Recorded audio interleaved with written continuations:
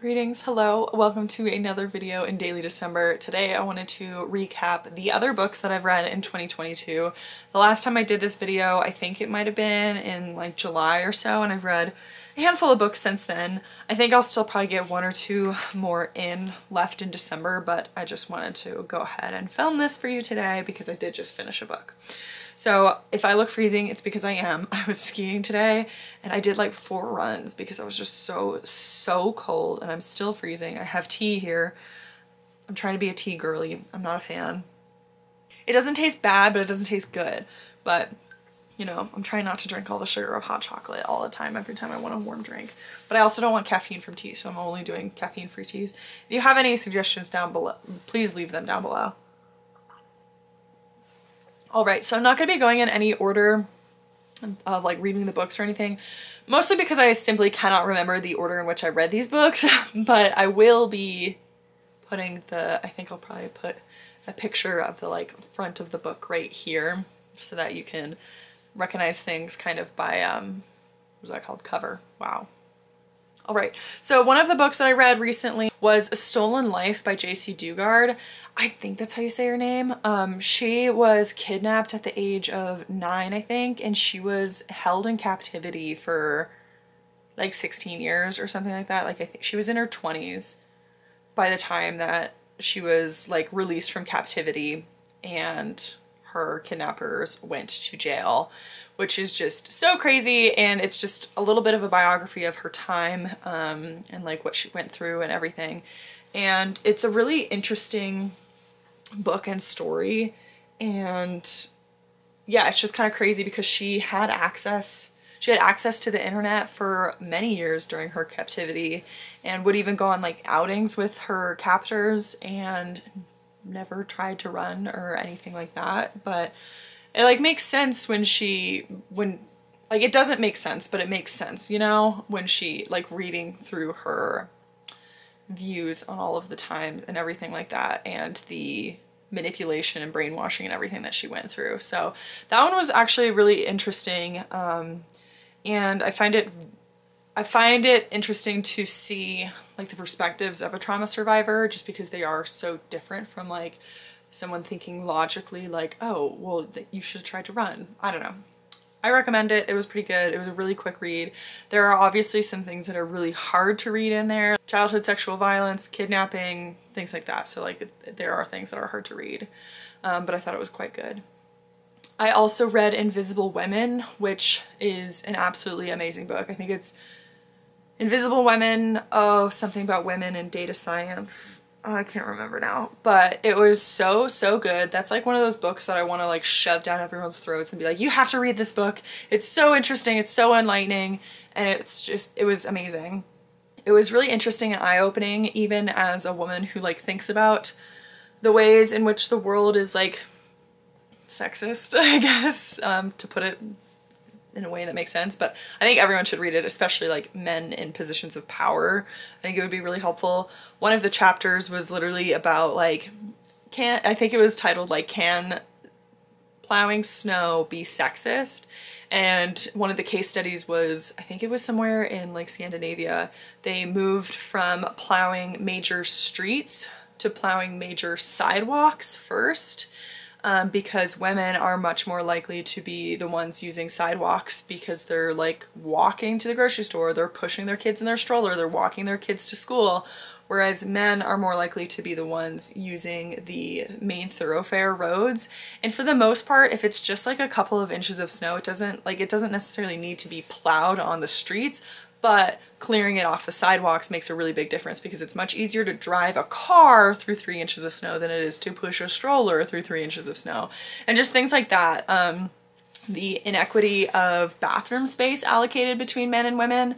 Men have men and women tend to have the same size bathrooms but as we all know men's bathrooms typically have quite a few urinals and then like stalls maybe a half and half I, I don't know for sure but there, therefore twice as many men are able to move through a bathroom as once at once compared to a women's bathroom given the same amount of space and women obviously take longer in bathrooms because there are periods to deal with. There are the fact there's the fact that we just have to like sit down to pee, and then also women are much more likely to be um, elderly. Like women have like longer life expectancies, so elderly women are more common than elderly men people who are disabled are more likely to be women who also need more time in the bathrooms and just stuff like that, like things that I never really considered. And it was an excellent book. And I'm going to stop talking about it right now because I have talked about it far too much, but highly, highly, highly recommend.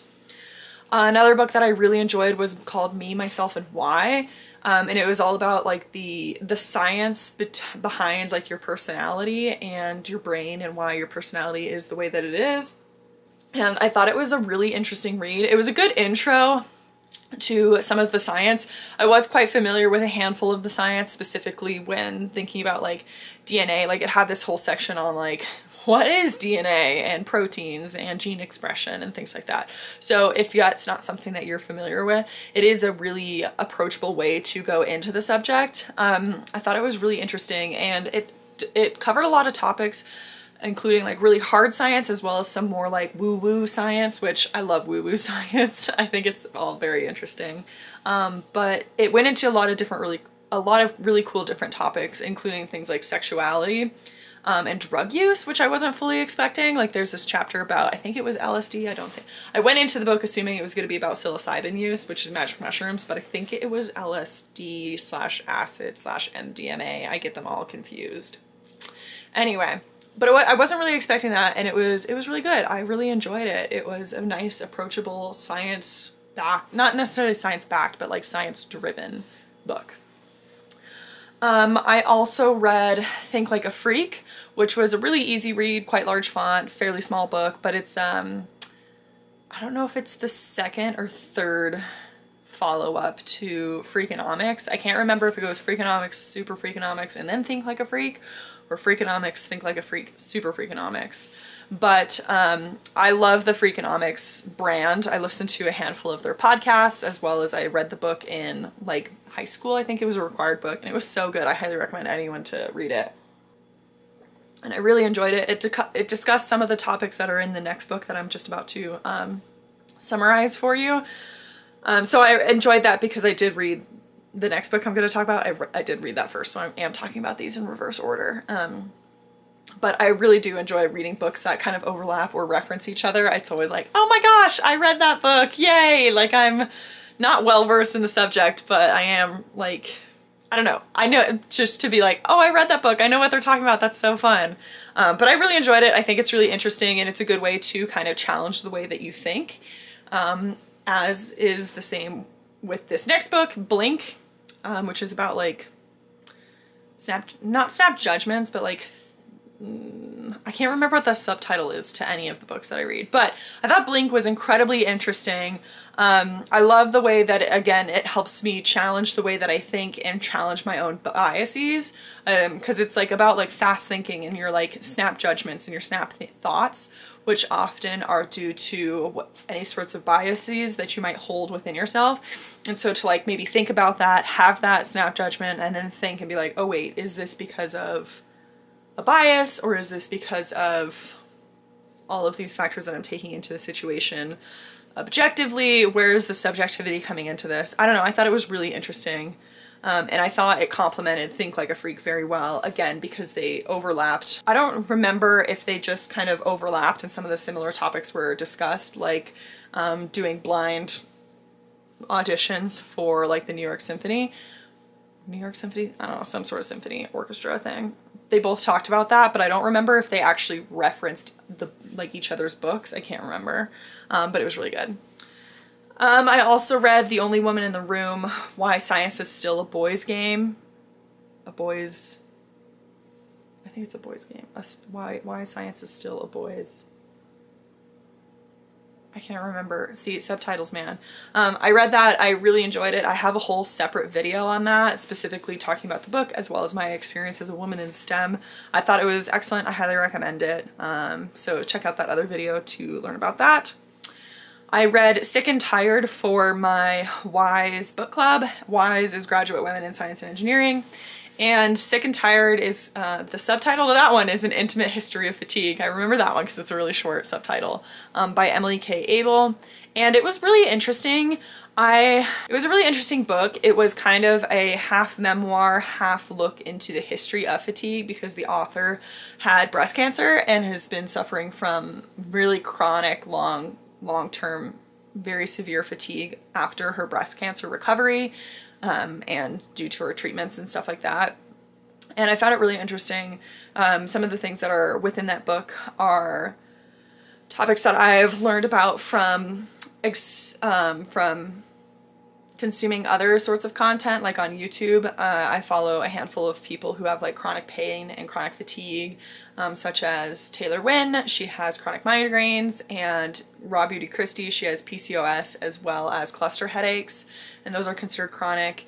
Um, and then also within my family, like my sister has uh, chronic illness, autoimmune disease. And so it's just something that I really try to educate myself in because it's not something that I can very easily relate to. And so I do try to go out of my way to specifically understand the way that people like this live because chronic illnesses and fatigue and everything are super duper common.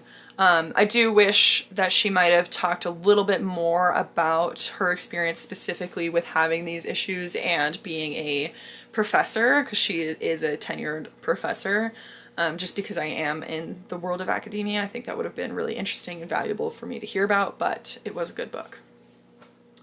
Then um, I also read Possum Living by Dolly Freed, which is, I don't think her actual name, that's just like the name it was published under. Um, I didn't read all of it because there were some things that were just like not relevant to me. It's basically about how to like live on not a lot of money and like without a job and kind of it's like almost like homesteading it and roughing it and like I don't know. It was an interesting some things were interesting about it. Like there were some things that were still quite relevant, but also a lot of things were not at all relevant because I think this was written in like the 70s. Um, and there's a lot of there's a lot of questionable undertones of like racism and just general superiority complexes. And it's actually kind of interesting because she she wrote it after only like a year of doing this like possum living with her dad. And I think I was reading like an anniversary edition or something like that and she had like gone back as a much older woman and had like made these little like asterisk footnotes and been like now in my older age I don't recommend doing this. Because one of the things was about like if someone wrongs you to like show up at their house and threaten them so I'm like, what? Like, I'm sorry. Um, so yeah, it was just, I would just give it a strong okay.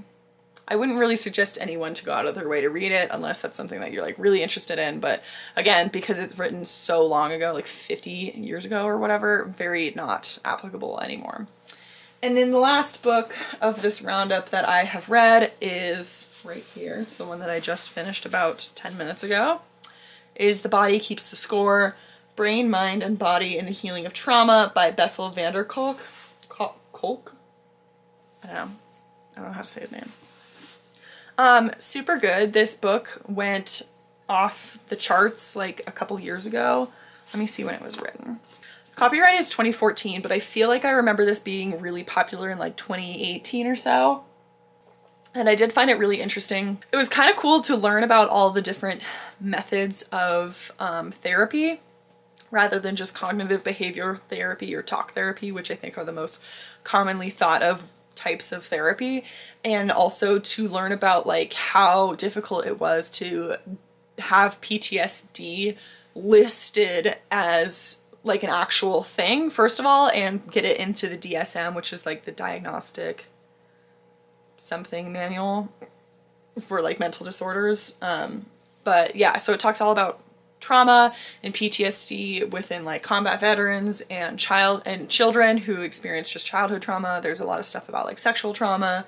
Um, but I thought it was just super interesting. So many different chapters about so many different types of therapy and just the, the breakthroughs. And it was also really interesting because it is it is about the science, but it also is a little bit of a memoir about the author's journey through learning about all of these different techniques and going through his own um, bouts of being like, well, that can't be real science. That seems a little too hand wavy woo woo, but it ends up being like backed by studies and stuff like that a handful of times with all these different types of therapies. So I thought it was really interesting. Um, and yeah, just really cool to learn a little bit more about PTSD. Again, not something that I necessarily suffer from or trauma, but I think it was probably going to come in handy at some point in my life to have this little bit of background knowledge. So yeah. So those are all the books that I have read since my last books that I've read this year video. Uh, again, I'm thinking I'll probably get like one, maybe two more books done this year. And I have a whole other video about my to read list, so definitely check that out. And I'm going to try and finish this tea that I don't think is bad, but I don't think is good, and it's no longer very warm. And I'm gonna continue just trying to warm up because I'm still so cold from skiing. So thank you so much for watching and I will see you tomorrow for another video on Daily December. Bye!